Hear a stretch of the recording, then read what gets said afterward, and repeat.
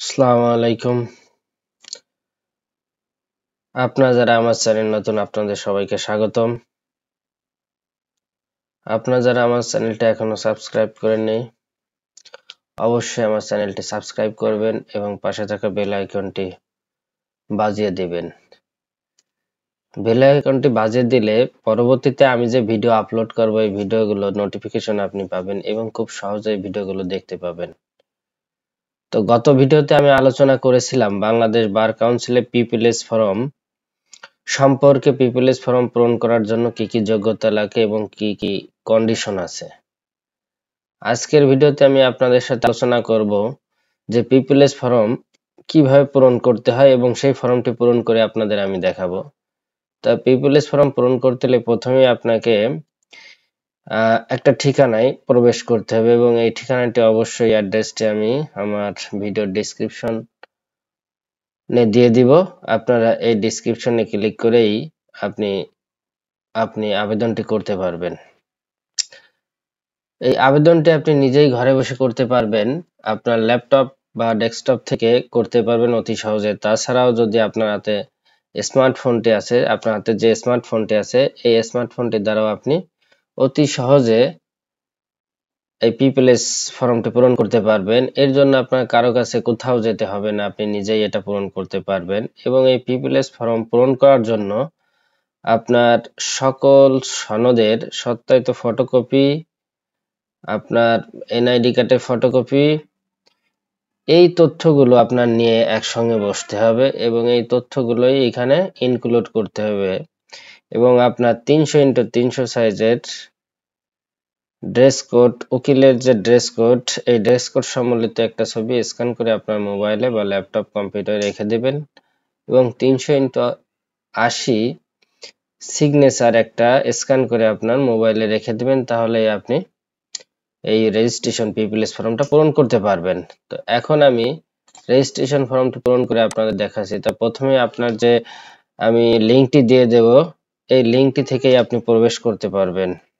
তার লিঙ্কটিকে লিঙ্কটিতে প্রবেশ করলে আপনি প্রথমে বাংলাদেশ বার কাউন্সিলের এই যে ওয়েবসাইট এখানে চলে আসবেন। এখানে আসার পরে পিপলস রেজিস্ট্রেশন লেখা, এর উপরে ক্লিক করবেন। এখানে ক্লিক করলে আপনার এরকম একটা ইন্টারফেস বাংলাদেশ বার কাউন্সিলে আপনাকে নিয়ে আসবে। এখানে আসার পরে আপনি চাইলে ইনস্ট্রাকশন দেখতে পারেন। এখানে যে লেখা আছে ইনস্ট্রাকশন এটা আপনি ক্লিক করলে একটা পিডিএফ ফাইল ডাউনলোড হবে। এটা আপনি পরে দেখতে পারেন। আর আপনার যদি আগেই জানা থাকে, তাহলে এটা না পরে আপনি ডিরেক্ট অ্যাপ্লাইতে ক্লিক করবেন। অ্যাপ্লাইতে ক্লিক করার পরে এখানে দেখবেন হচ্ছে নেক্সট এবং পার্সোনাল ইনফরমেশন লেখা আছে, এখানে ক্লিক করবেন। এখানে ক্লিক করলে মূল যে ফর্মটি আছে, এই ফর্মে আপনাকে নিয়ে আসবে। প্রথমে এই নাম আছে, আপনি প্রথমে নাম দিবেন।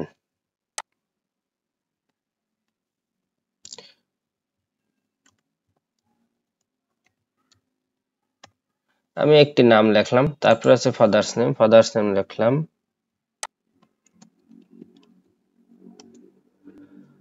মাদার্স নেম এরপরে আছে জেন্ডার আপনি যে জেন্ডারে মেল হলে মেল দিয়ে দিবেন। এরপর ডেট অফ বার্থ এখানে আপনার জন্ম তারিখটা দিয়ে দেবেন। এখানে আপনি ক্লিক করলেই দেখতে পারবেন, এখানে আপনার দিন, মাস এবং বছর দেখাবে। আপনি সেখানে ক্লিক করে আপনার সুবিধা মতো দিয়ে দেবেন এখানে।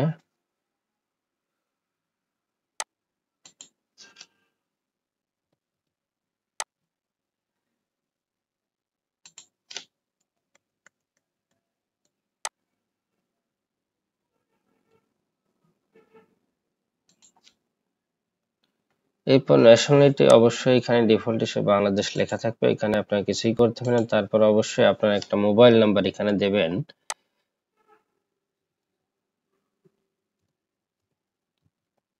আমি একটা মোবাইল নাম্বার দিয়ে দিলাম এবং এই মোবাইল নাম্বারটি অবশ্যই আপনার সচল একটি মোবাইল নাম্বার দিবেন।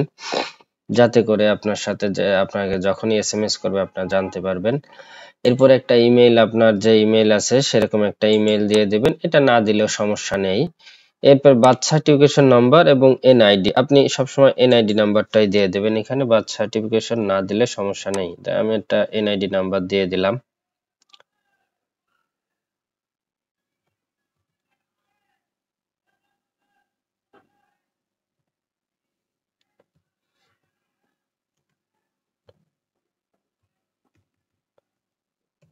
আমি একটা এনআইডি নাম্বার দিয়ে দিলাম। এই সকল তথ্য পূরণের পরে অবশ্যই আপনি এখানে সেভ অ্যান্ড এক্সিট দেবেন না। আপনি দেবেন save and go to next step কারণ এক্সিট দিলে এখান থেকে আপনি বেরোয় আসবেন আর save and go next step দিলে আপনি পরবর্তী স্টেপে মানে পরবর্তী স্টেপে আপনি যাবেন। তো এরপর এখানে ক্লিক করে আপনি সাবমিটে ক্লিক করবেন। তাহলে সেভ হয়ে যাবে। এটা এটা অবশ্যই এটা আপনার এটা সেভ হয়ে যাবে। এখানে তথ্যটা সেভ হয়ে যাবে এবং পরবর্তী স্টেপে আপনি চলে যাবেন। এখন দেখেন আমি দ্বিতীয় স্টেপে আসলাম। এখানে বলছে পারমানেন্ট প্রেজেন্ট অ্যাড্রেস আপনি আপনার প্রেজেন্ট যে অ্যাড্রেস আছে সেটা এখানে বসাই দেবেন। আমি একটা প্রেজেন্ট অ্যাড্রেস লিখি।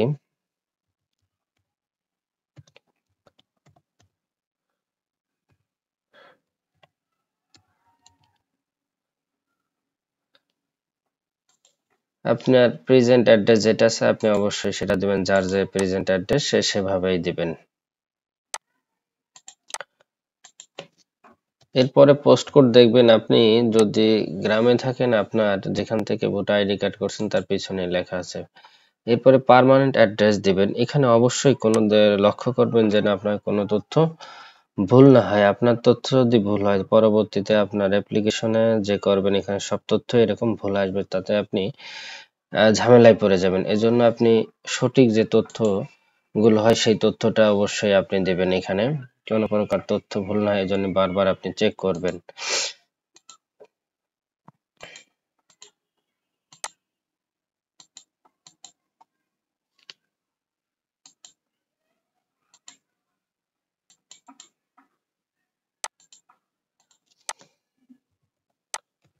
এরপরে সেম আপনি সেভ অ্যান্ড গো নেক্সট স্টেপে ক্লিক করবেন এবং সাবমিটে ক্লিক করবেন। তাহলে আপনি এবার তৃতীয় স্টেপে চলে আসবেন। এইভাবে আপনার ছয়টি স্টেপ পূরণ করতে হবে। দেন আপনার পিপলেস রেজিস্ট্রেশন সম্পূর্ণ হবে। এখন এই তৃতীয় স্টেপে বলা আছে সম্পূর্ণ আপনার যে কোয়ালিফিকেশন আপনার, এই কোয়ালিফিকেশন সম্পর্কেই তথ্য দিতে হবে। প্রথমে আছে এক্সাম নেম এক্সাম নেম তো এখানে প্রথমে এসএসসি উপরে অবশ্যই লেখা আছে এসএসসি অবশ্যই আপনাকে এসএসসি দিতে হবে। এরপর আছে বোর্ডের কথা বলা আছে। এখানে আপনি যে বোর্ড থেকে পাশ করেছেন, সেই বোর্ড দেবেন। ঢাকা, চট্টগ্রাম, রাজশাহী, যে যে বোর্ড থেকেই পাশ করেছেন সেই সেই বোর্ড অবশ্যই এখানে পূরণ করবেন। এরপরে বলছে রোল নাম্বার এসএসসি তে আপনি পাশ করার সময় যে রোল নাম্বারটি ছিল সেটা অবশ্যই এখানে পূরণ করবেন। সেই রোল নাম্বার এরপর রেজিস্ট্রেশন নাম্বার, এটাও বাধ্যতামূলক অবশ্যই আপনাকে দিতে হবে। এরপর পাসিং ইয়ার আপনি যে সালে এসএসসি পাস করছেন সেই সালটা এখানে অবশ্যই দিয়ে দেবেন। এবং এই সকল তথ্য আপনি সার্টিফিকেট এসএসসি সার্টিফিকেট দেখেই আপনি এগুলো পূরণ করবেন, তাহলে আপনার ভুল হওয়ার সম্ভাবনা কম থাকবে। আর আপনি যদি এসএসসি সার্টিফিকেট অনুযায়ী পূরণ না করেন, সেক্ষেত্রে আপনার ভুল হওয়ার সম্ভাবনা হয়ে যাবে। এজন্য সার্টিফিকেটগুলো আপনার সামনে রেখেই আপনি রেজিস্ট্রেশন ফর্মটা পূরণ করবেন। আপনি যদি ডিভিশনে পাস করে থাকেন, এখানে ডিভিশন সিলেক্ট করবেন, আর আপনি যদি গ্রেডে পাস করে থাকেন, তাহলে অবশ্যই এখানে আপনি গ্রেডটা সিলেক্ট করবেন। এরপরে আপনি যে স্কেলে যদি গ্রেডে হয়, তাহলে চার অথবা পাঁচ। আপনি যদি পাঁচে থাকেন, এখানে পাঁচ সিলেক্ট করবেন আর আপনার যে গ্রেডে উত্তীর্ণ হয়েছেন সেটা এখানে পূরণ করবেন।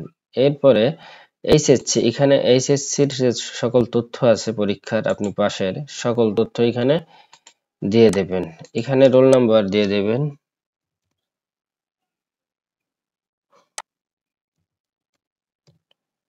রেজিস্ট্রেশন নাম্বার এখানে যা আছে আপনার সেই রেজিস্ট্রেশন দিয়ে দেবেন।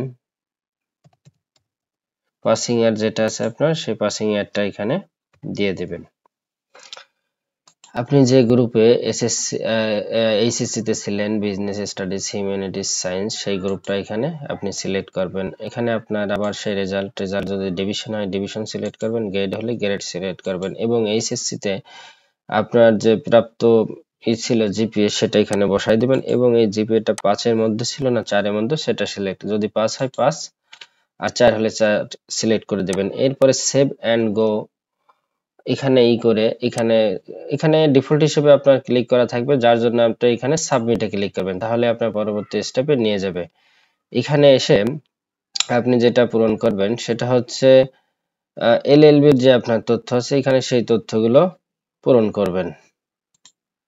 তো এলএলবি যদি অনার্স কোর্স হয়, তাহলে অনার্স পূরণ করবেন, আর যদি পাস কোর্স হয়, তাহলে পাস কোর্স পূরণ করবেন। পাস কোর্স হচ্ছে যেটা আপনি দুই বছর মেয়াদি করছেন, এটা হচ্ছে পাস কোর্স আর চার বছর মেয়াদি মেয়াদি যেটা, এটা হচ্ছে অনার্স কোর্স তো এরপরে আছে আপনার রেজিস্ট্রেশন বা রোল নাম্বার যেটা থাকে, আপনি এখানে সেটা পূরণ করবেন।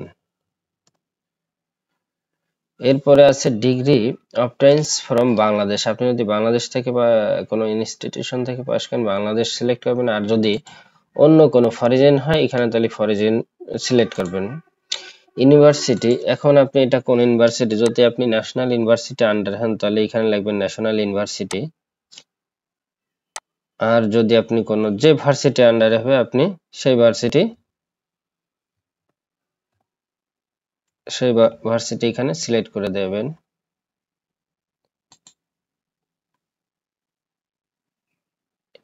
এরপরে আপনি যদি সেম ডিভিশন বা ক্লাসে পাস করেন, সেটা এখানে সিলেক্ট করবেন। এবং আপনি কোন ডিভিশনে পাস করেছেন, সেটা সেটা এখানে সিলেক্ট করে দেবেন। এবং এখানে আপনার পূরণ করার সময় অবশ্যই আপনি মার্কশিটটা পাশে রাখবেন। এই মার্কশিটটা পাশে রাখলে সহজ হবে, কারণ আপনার এখানে মার্কশিটটা চাই যে আপনি কত মার্ক পেয়েছিলেন। টোটাল মার্ক এবং কত পার্সেন্ট মার্ক আপনি পেয়েছিলেন, এখানে সেটাই চাচ্ছে এবং সেটা দিয়ে দেবেন।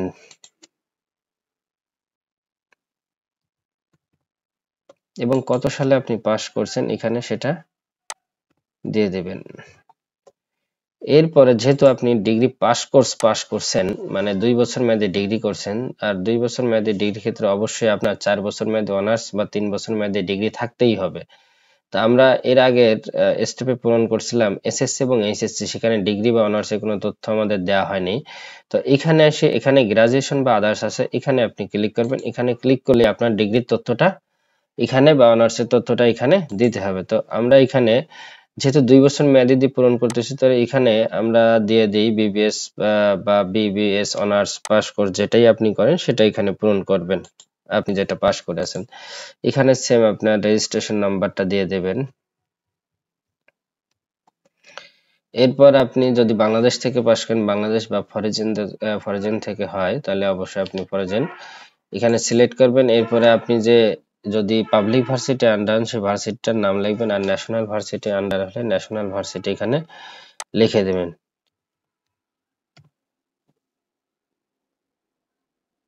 ন্যাশনাল ইউনিভার্সিটি হলে আপনি এখানে ন্যাশনাল ইউনিভার্সিটি লিখে দেবেন। এরপরে হচ্ছে রেজাল্ট টাইপ আপনি যদি ডিভিশনে পাস করেন তাহলে ডিভিশন আর যদি আপনি গ্রেডিং হয় তাহলে গ্রেডিংটা এখানে দেবেন। আর ডিভিশন যদি হয়, আপনি কোন ডিভিশনে পাস করছেন, সেই ডিভিশন এখানে দিয়ে দেবেন। এবং টোটাল যে আপনি কত মার্ক পেয়েছিলেন, সেই মার্কটা কত মার্কের ভিতরে আপনার পরীক্ষা ছিল এবং আপনি কত পার্সেন্ট মার্ক পেয়েছিলেন, সেই মার্কটা এখানে দিয়ে দেবেন। এই এসএসসি এবং এলএলবি এবং আপনার গ্রাজুয়েশন গ্রাজুয়েশনের যে মার্কশিটটা সেটা অবশ্যই সাথে নিয়েই আপনি ফর্ম পূরণ করতে বসবেন। কারণ এই দুইটাই আপনার টোটাল যে মার্ক ছিল এবং এর মধ্যে আপনি কত মার্ক পেয়েছিলেন, সেই তথ্যগুলো এখানে দিতে হচ্ছে। যার জন্য এই দুইটা মার্কশিট আপনার খুবই জরুরি। এরপরে সেম সেভ বাটনে আবার সাবমিট করবেন। এটা পূরণ হলে সাবমিটটা এখানে ক্লিক ক্লিক সাবমিটে ক্লিক করবেন।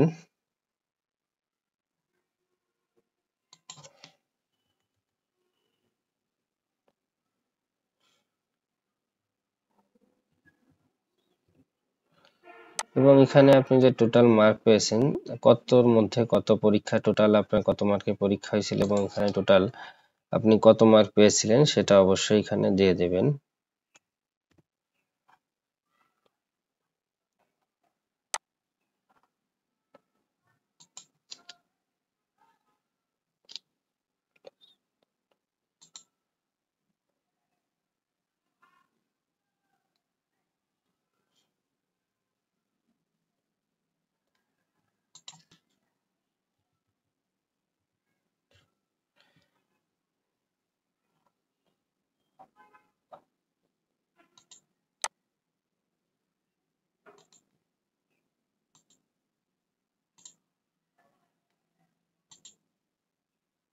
আসলে এখানে আপনার যেটা করতে হবে সেটা হচ্ছে পিপলেস কন্ট্যাক্ট ডেট মানে আপনি আপনার সিনিয়র সাথে যে ডেটে তার সাথে কন্ট্যাক্ট করেছিলেন মানে আপনার পিপিএস ফর্ম পূরণের জন্য যে তিনশো টাকা নন জুডিশিয়াল সিস্টেমে তার সাথে কন্ট্যাক্ট করেছেন, সেই পিপিএস কন্ট্যাক্ট ডেটটা এখানে দিতে হবে। এরপরে আছে আপনার name of PPS master senior মানে আপনি যে সিনিয়র আন্ডারে যে কন্ট্যাক্ট করলেন ছয় মাস তার সাথে প্র্যাকটিস করার জন্য সেই সিনিয়রের নাম এখানে লিখতে হবে। এরপরে date of enrol of his her senior মানে আপনার সিনিয়র কত সালে বার কাউন্সিলের সনদ পেয়েছিল সেই ডেটটা এখানে দিয়ে দিতে হবে। এরপর আছে name of bar association which is her senior is in member মানে আপনার সিনিয়র কোন বারের সদস্য বা কোন বারে তিনি প্র্যাকটিস করে থাকেন সেটা এখানে দিতে হবে, সেটা বাংলাদেশের যে কোনো বারে থাকে সেই বারটা দিতে হবে। এবং এটা পূরণ করার জন্য অবশ্যই আপনি কোন বারে অধীনে প্র্যাকটিস করতে চান, সেই বারের সিনিয়রের কাছেই আপনার যেতে হবে। এরপরে আছে আপনার সিনিয়র কি রেজিস্ট্রেশন এটা কি রেগুলার হবে না রেজিস্ট্রেশন অবশ্যই আপনি নতুন যেহেতু অবশ্যই রেগুলারে এখানে সিলেক্ট করবেন। এরপরে আছে application has been dismiss from government and public government তবে এই যে যে কন্ডিশনগুলো দেওয়া আছে, সেটা হচ্ছে কি, আপনি যদি কোনো সরকারি চাকরি করে থাকেন বা অন্য কোনো পেশায় নিয়োজিত থাকেন, তাহলে আপনি রেজিস্ট্রেশন বাতিল হবে। এজন্য এই যে যে তিনটা, চারটা, তিনটা ই আছে, এখানে সবগুলোতে আপনি নো নো ই করবেন। তা না হলে আপনার রেজিস্ট্রেশন হবে না। রেজিস্ট্রেশন যদি আপনি করতে চান, তাহলে অবশ্যই আপনি অন্য কোনো পেশায় থাকতে পারবেন না। এই মর্মে তাদের ঘোষণা করতে হবে, যার জন্য এই তিনটাই আপনি নো নো সিলেক্ট করে দিবেন।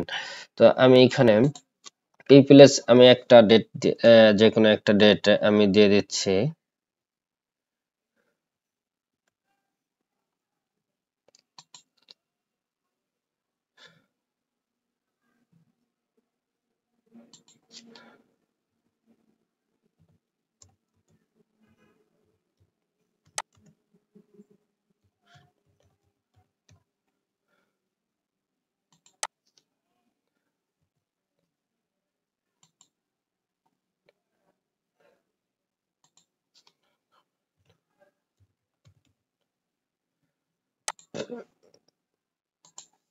হুম, আমি এইভাবে দিয়ে আপনার যে তথ্য আছে, ওই তথ্যগুলো অনুযায়ী আপনি এই তথ্যগুলো এখানে দিয়ে সাবমিট করবেন। আমি এখানে দিয়ে সাবমিট করলাম। এখানে দেখেন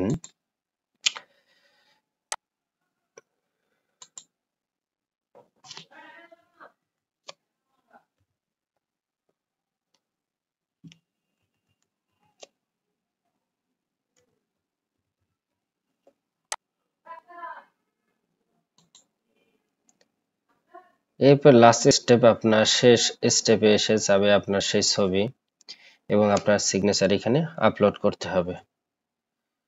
তো এখানে আমি একটা ছবি এখানে আপলোড তিনশো ইন্টু তিনশো সাইজের যে কোনো একটা ছবি আমি এখানে আপলোড করি।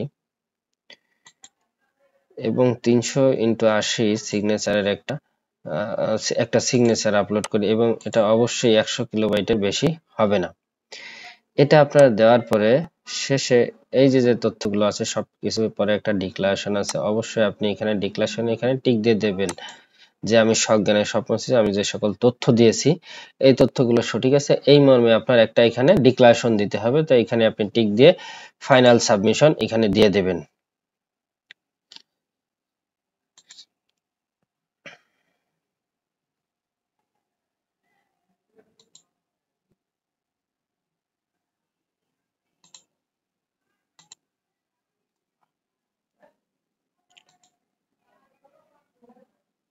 এটি দেওয়ার পরেই দেখবেন যে আপনার কনগ্রাচুলেশন জানাইছে এবং আপনার রেজিস্ট্রেশন ফর্মটি সঠিকভাবে সম্পূর্ণ হয়েছে। এবং এরপরে আপনি এখান থেকে প্রথমেই আপনার অ্যাপ্লিকেশন ফর্মটি আসবে। এরপরে অ্যাপ্লিকেশন ফর্মটি আসার পরে এখানে দেখেন যে একটা, এই যে যেগুলো, এগুলো আপনি অবশ্যই কার্টিস পেপারে এই করবেন।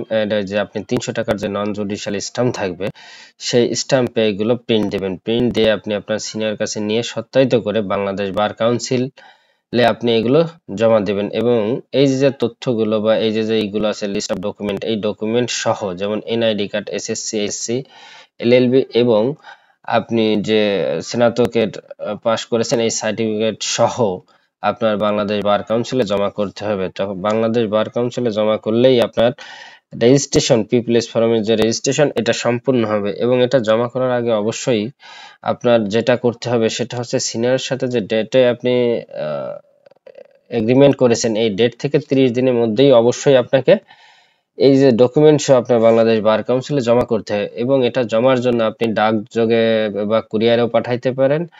আবার আপনি শরীরে যে নিজে এই যে সেখানে হাতে হাতে সাবমিট করতে পারেন, তবে এক্ষেত্রে আপনাকে অবশ্যই হাতে হাতে নিজেকে সাবমিট করাটাই ভালো হবে। সেক্ষেত্রে ভালো হবে এবং এটা আপনি ডাউনলোড দিয়ে আপনার সিনিয়রের কাছে অবশ্যই নিয়ে যাবেন এবং এইভাবেই তাইদি ফর্ম পূরণ করে আপনি বাংলাদেশ বার কাউন্সিলে জমা করবেন এবং বাংলাদেশ বার কাউন্সিলে জমা করার পরে আপনার বাংলাদেশ টেলটক যে আছে, এই টেলটকের মাধ্যমে আপনার যে নির্ধারিত ফি আছে, এটা প্রদান করে আপনার সাবমিটটি সম্পূর্ণ করতে হবে। এবং আমার ভিডিওটি দেখার জন্য আপনাদেরকে অসংখ্য ধন্যবাদ।